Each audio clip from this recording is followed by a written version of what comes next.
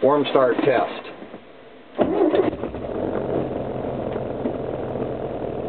Idling down.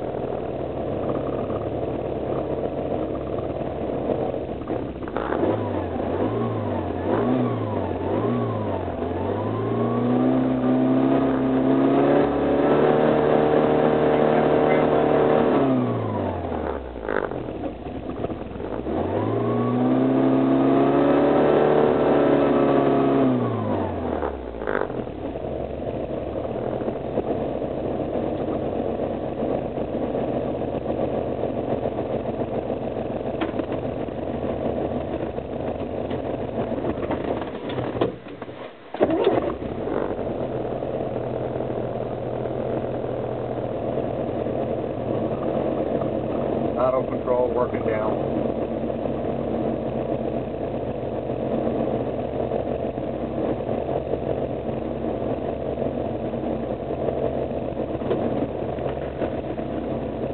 Still in after start enrich. I'm gonna have to dial that down a bit.